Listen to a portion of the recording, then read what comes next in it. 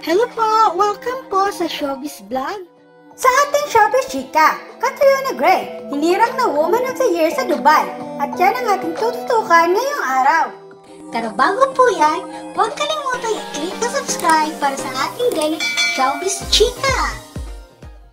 Isang malaking karangalan ng Pilipinas at lalo na ng mga Pilipino sa Dubai ang paghirang na Woman of the Year ng isang magazine sa Dubai ni Miss Universe 2018 Catriona Gray.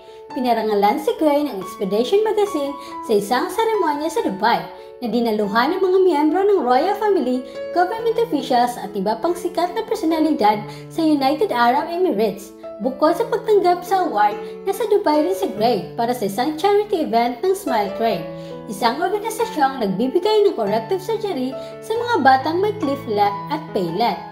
Sa kanyang talumpati, iginiit ni Gray na hindi naman kailangan ng titulo o korona sa paglahok sa mga mabuting gawain para sa komunidad.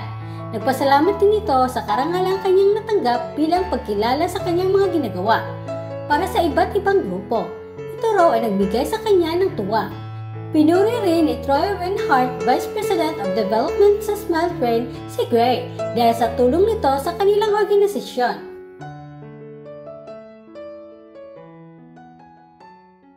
So yan po ang ating Showbiz Chika ngayong araw.